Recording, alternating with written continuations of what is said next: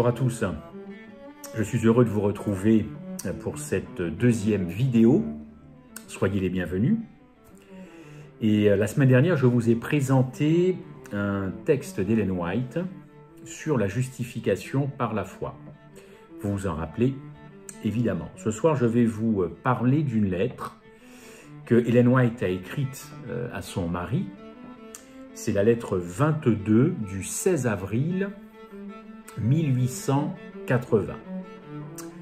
Alors, un petit euh, retour en arrière, je souhaite quand même, je reprécise un petit peu les choses.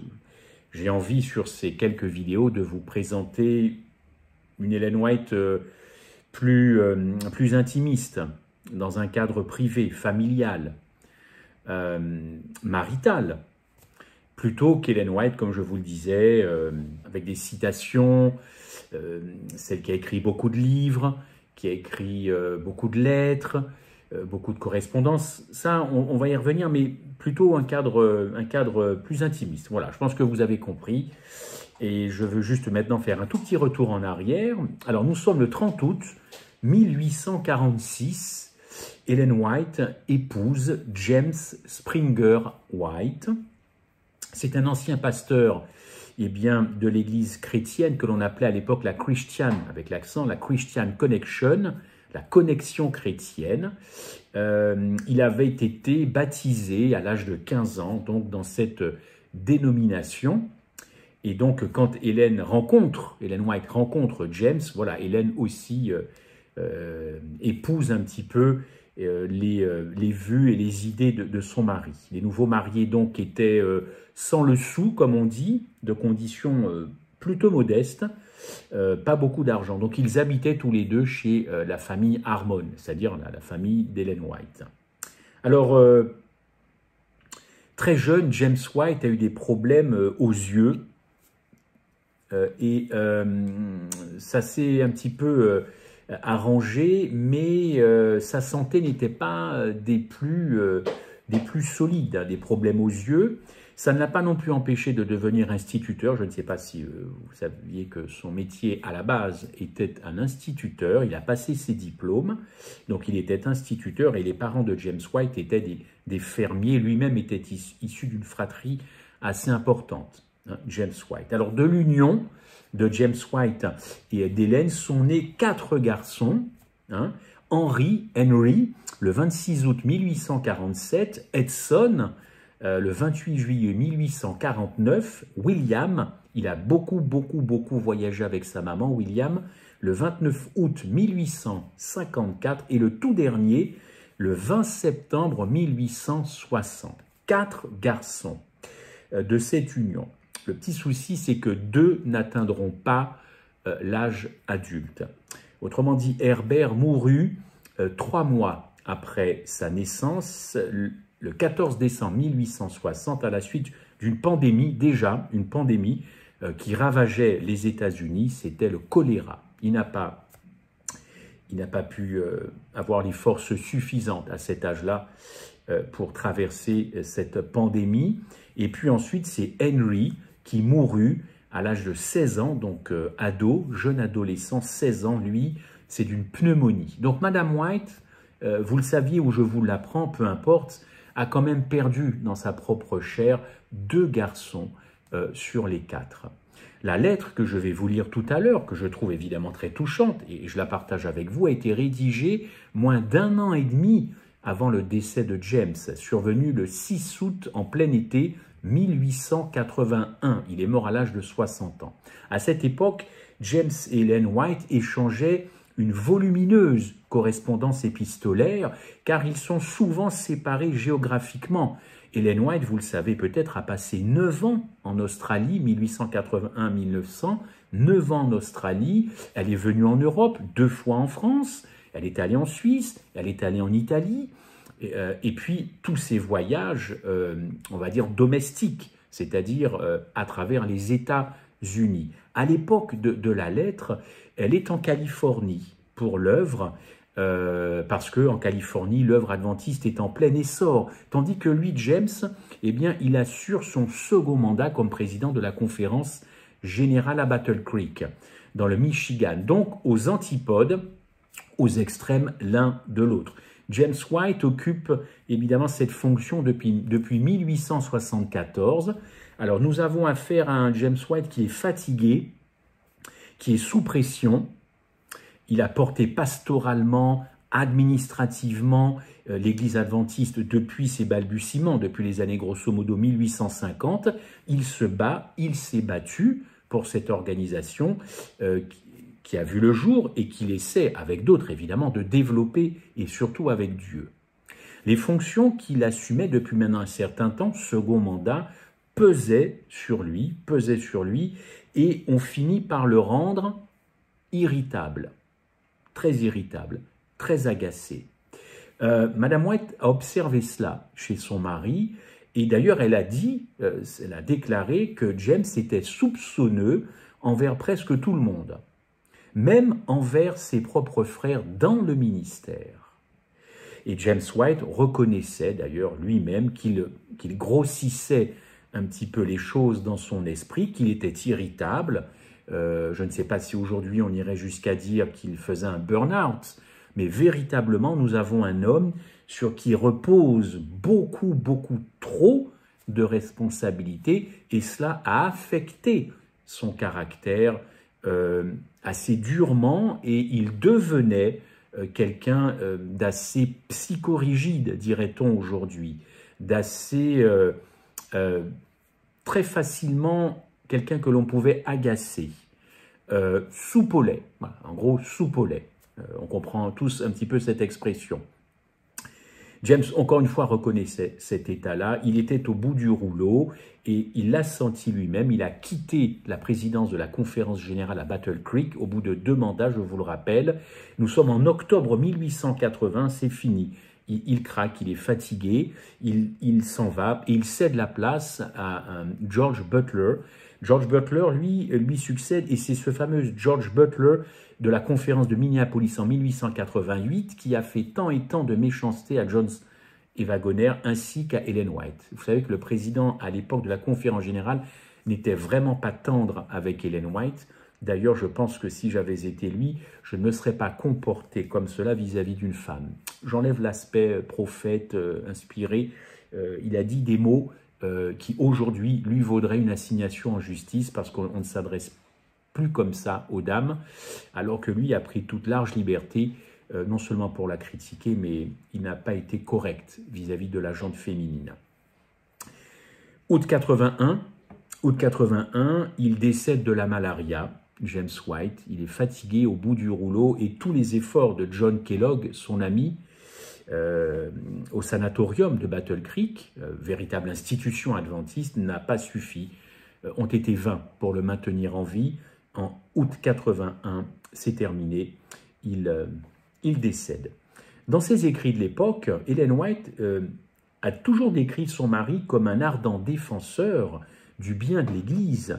Il a eu du mal parfois à supporter, je vous le disais, les erreurs ou les dérives dans lesquelles ses collègues pouvaient se fourvoyer, Hélène White restait convaincue que Dieu a employé, avait bien employé son mari pour veiller au bon développement, au bon développement de l'Église.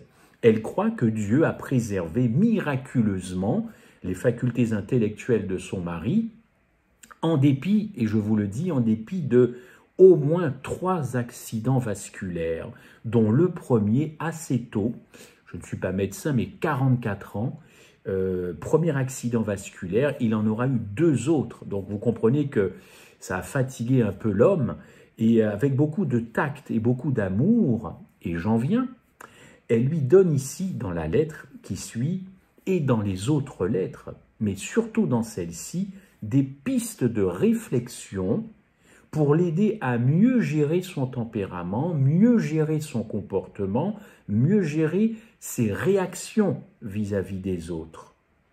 James a toujours été, James White a toujours été, euh, a toujours accordé beaucoup d'attention aux conseils de sa femme. je cligne un peu les yeux. Il a, toujours accordé la grande attention aux conseils de son épouse et euh, il va bientôt euh, s'éteindre. Euh, il va recevoir cette lettre que je vais vous lire. Hélène White, encore une fois, a fait cette belle déclaration à son mari. ne doutez jamais de mon amour pour vous.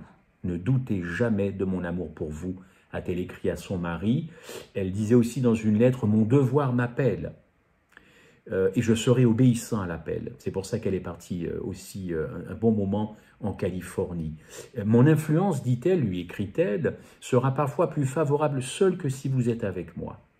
Je serai avec vous quand je le pourrai, mais à l'avenir, nous devrons tous les deux endurer l'épreuve de la séparation plus que par le passé, parce qu'effectivement, à un moment, ils ont été assez séparés. Dans cette lettre, je vous demande d'être très attentif à la subtilité des mots employés par Hélène White, à la subtilité pour pointer certaines choses dans le caractère de son mari. Pas d'accusation, pas de dénigrement. C'était un couple qui s'aimait énormément et elle avait une façon euh, bien de dire les choses à son mari. Si vous êtes prêts, nous allons commencer à lire cette lettre que voici.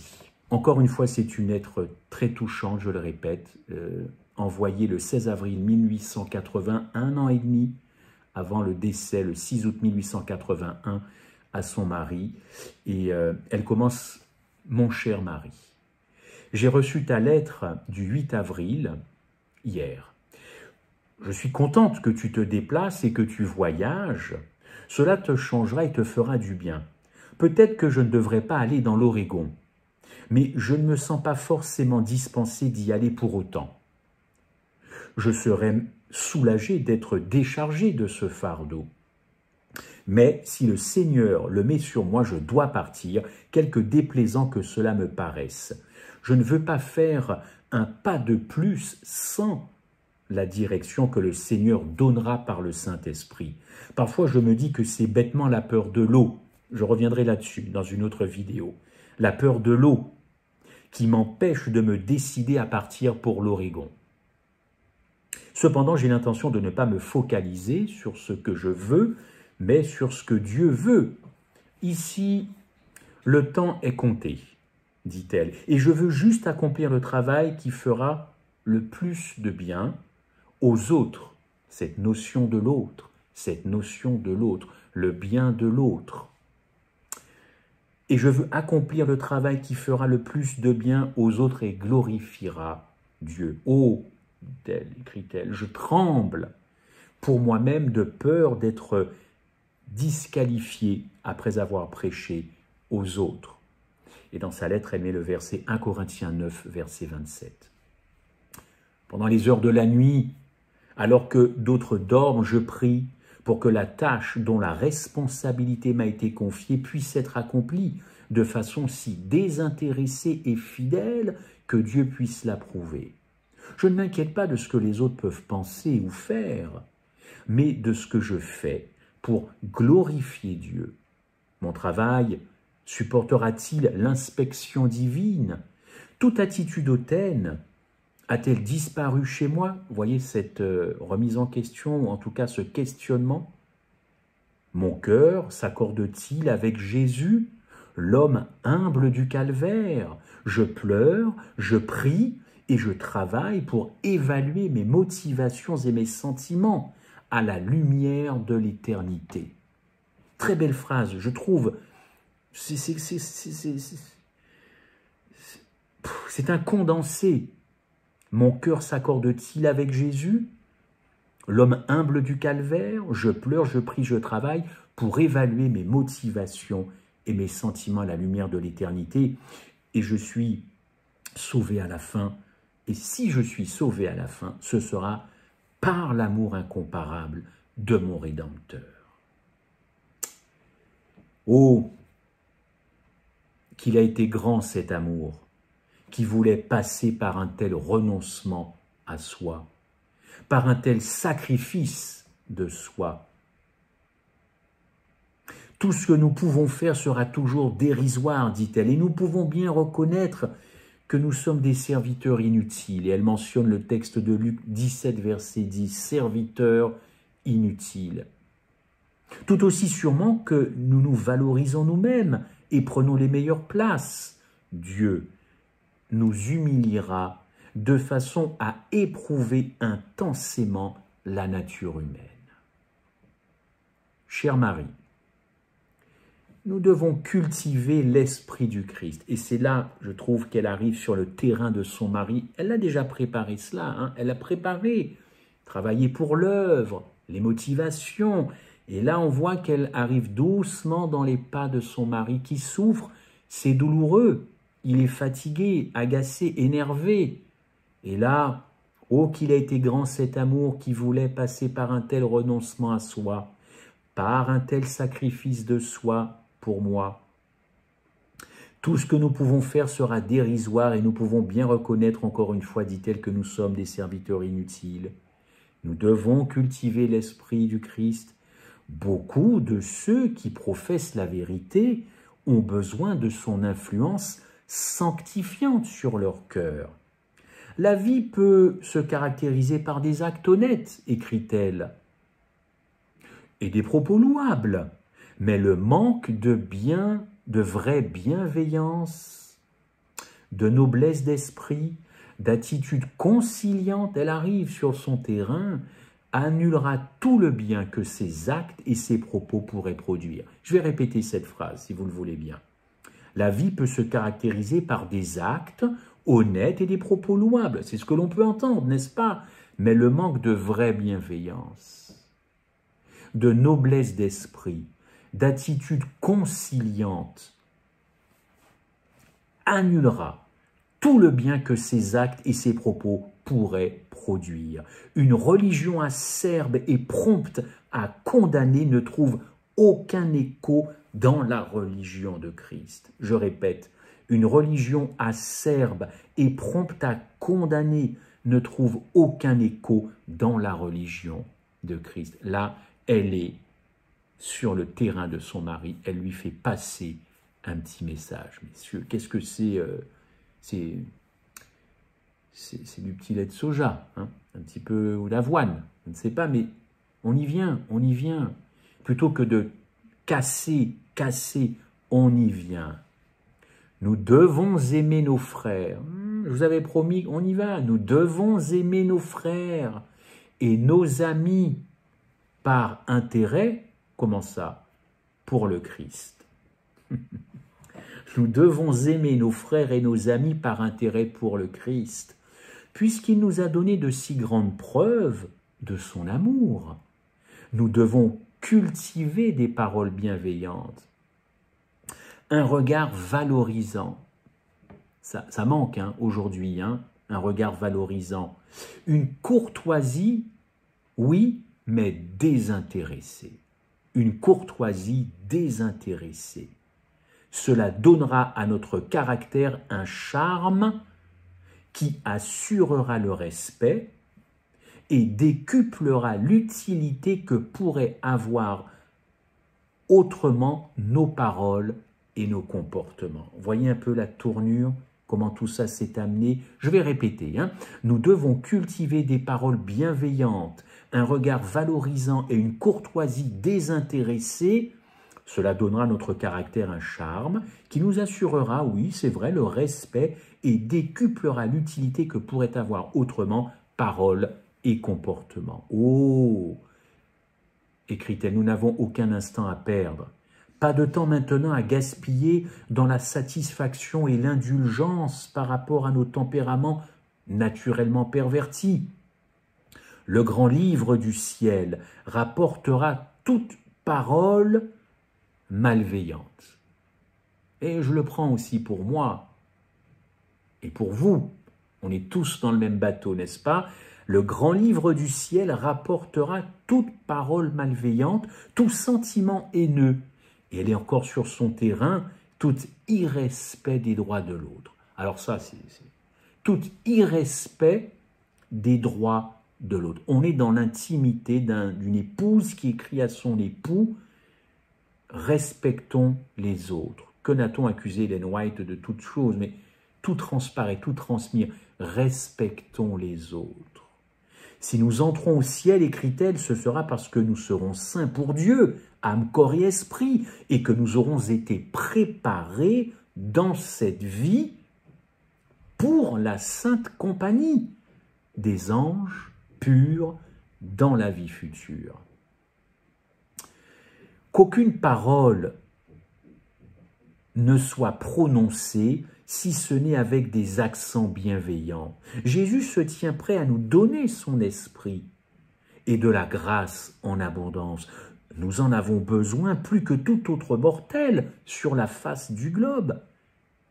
Si Dieu nous a placés, toi et moi, à un poste de confiance sacré, et si tu penses qu'il ne nous a en rien déchargés de cette responsabilité, alors James, alors, si nous lui demandons, il nous donnera la qualification. Si nous le lui demandons, oui, il nous donnera la qualification correspondante. On pourrait aussi traduire par euh, les compétences correspondantes, afin qu'en toute humilité, rappelle-t-elle, tandis que tu occupes cette position la plus haute que des mortels puissent occuper, tu sois quoi? Un exemple pour les autres. On est toujours sur son terrain, un exemple pour les autres en parole, en esprit, en patience, on est en plein dedans là, hein, en douceur, allez, prends ça, en toute modestie et en toute humilité. Écoutez, on a un condensé d'adjectifs en une phrase, un sujet, verbe, complément, alignement, et, l'affaire est... Mais regardez quel tact, quelle subtilité, quelle subtilité. Pas d'accusation. Ah, tu es comme ça, tu es comme ça, c'est pas bien.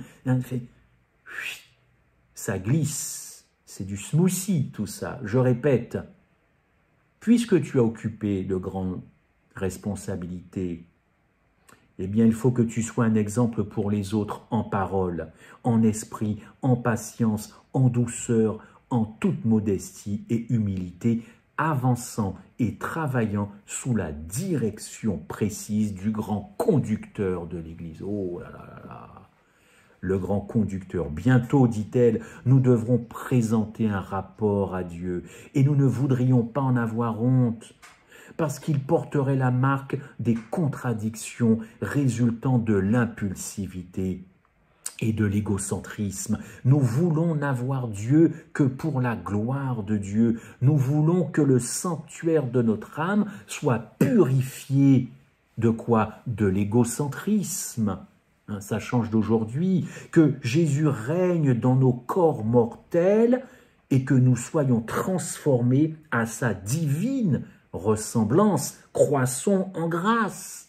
L'apôtre Paul n'aurait pas dit mieux. Croissons en grâce Accrochons-nous avec foi à Jésus-Christ et nous serons soutenus par sa puissance. Jésus-Christ nous enchâssera, il nous enchâssera dans les cœurs de ses précieux fidèles et il nous donnera une influence.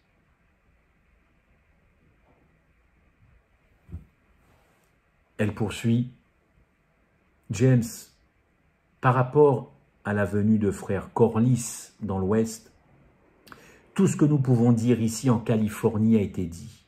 Nous voulons des collaborateurs, mais autant nous les désirons, autant nous ne sommes pas pressés de les voir arriver s'ils n'en ressentent pas, en ressentent pas eux-mêmes. Eh bien, l'envie, s'ils n'ont pas la vocation, nous ne souhaitons pas qu'ils viennent. Nous avons besoin d'hommes qui sont capables de percevoir la voix du berger et d'obéir et qui ne dépendent pas des autres pour connaître quel est leur devoir. Je t'ai d'ailleurs écrit, dit-elle, à ce sujet une ou deux fois.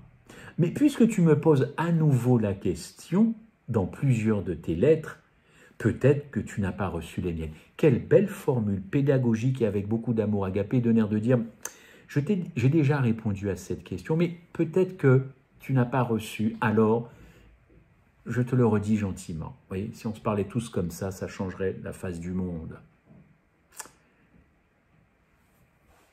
Elle conclut Sois de bon courage, mon cher mari.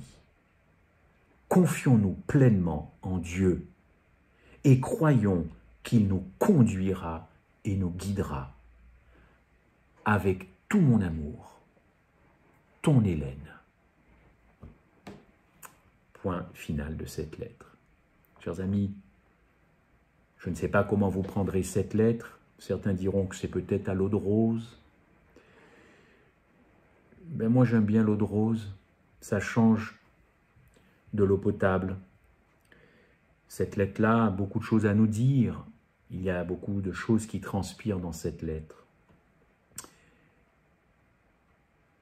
Que tout cela nous serve dans nos relations futures et tous ceux qui veulent traverser ces temps de crise, ça commence par là, tenir dans les temps de la fin ça commence à s'adresser comme ça à son épouse ou à son époux, ou à ses enfants. Là, on est dans les principes de vie chrétienne pour les temps de la fin. C'est ça, c'est concret. Voilà le christianisme concret à ceux qui se disent disciples, à ceux qui se disent époux, mari. Voilà le cadre.